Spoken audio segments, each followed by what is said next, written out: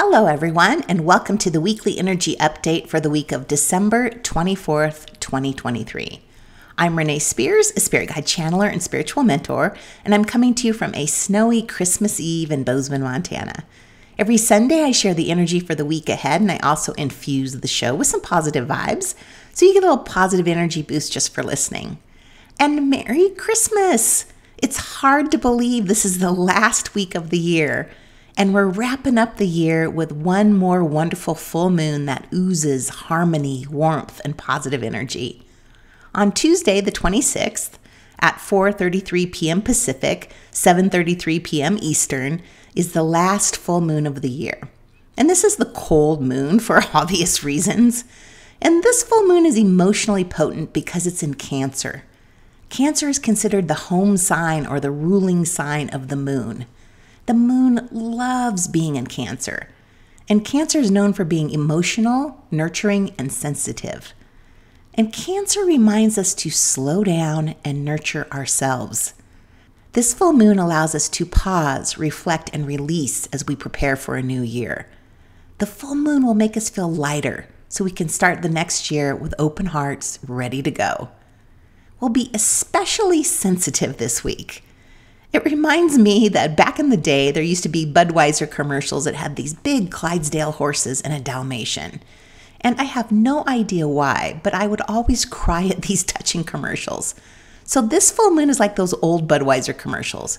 One second you're watching a beer commercial, and the next second you're joy crying, and you really aren't sure why.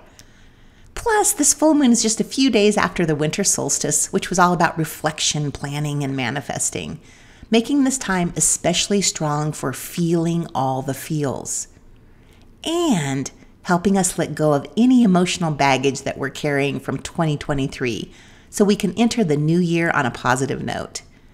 We're going to feel as though a major weight has been lifted off our shoulders, allowing us to start the new year fresh. And while we may be extra sensitive right now, we do have lots of pretty special and rare alignments supporting us and keeping us in balance. This full moon aligns exactly with Sirius. Sirius is considered our spiritual sun, and it's a star twice as big as our sun and 25 times brighter. So when the full moon aligns with Sirius, it gets activated and beams positive energy down on us. Because the moon is primarily connected to our emotions, this is where we'll feel the Sirius energy the most. Sirius helps us emotionally shed everything that is holding us back and blocking us from being authentic. It'll help keep us balanced in a neutral state this week, too. We may also receive energetic downloads. Sirius energy strengthens our psychic senses. So you may have some intense dreams, and all the clairs will be activated clairvoyance, clair- clairsentience, clairaudience, claircognizance. If there ever were a time to see the ghosts of Christmas past or present, this would be it. Jupiter is also very active with this full moon. Jupiter is the planet of abundance and luck. And when it's activated and strong in the sky, it shines positive vibes and good energy down on us and amplifies the energies of this full moon and Sirius. Jupiter is retrograde for another week. So, retrograde Jupiter reminds us that our expansion is an inside job. If we want to manifest or materialize something, it all starts inside we need to look within. So, does your self worth match your vision? Are you sabotaging yourself or keeping yourself small? There are so many reasons we prevent our dreams from manifesting unconsciously. We may fear the unknown. We may fear success. We may fear losing people as we grow. We may even fear losing ourselves. Our comfort zones are comfortable, they feel good, and leaving them brings up lots of emotions. So, Jupiter retrograde asks us to look at our growth from an internal view and make sure that our energy matches what we want to manifest and to get out of our own way. Next year is a big growth year, so get ready now so you don't cockblock all the good stuff coming. This would be a fabulous week for some restorative or yin yoga this type of yoga holds longer poses and allows your body to completely unwind.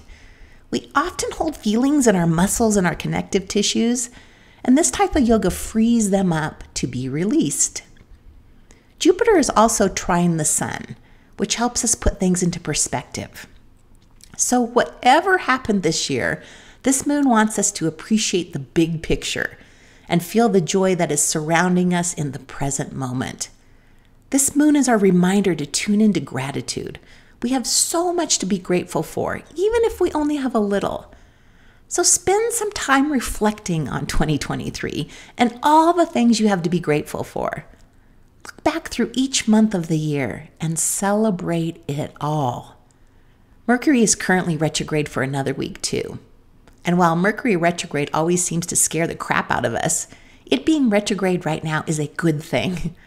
Mercury retrograde allows us to see things from a different angle, which can be healing we can use this Mercury retrograde opportunity to review the year and look at things from a different perspective to help us heal, shift, and release. Although we can't change what has happened, we can view it from a different lens. So, this week is a time to recharge your energy and bring you home to yourself. Coming home to yourself doesn't come from the logical mind, it comes from feeling. So, allow yourself to feel and give yourself what you need to restore your spirit and heal your soul. This full moon definitely feels like a gift from the universe as we wrap up the year and we move into the vibration of 2024. So slow down and enjoy its energies and soak up that powerful high frequency energy beaming in from Sirius, our spiritual sun.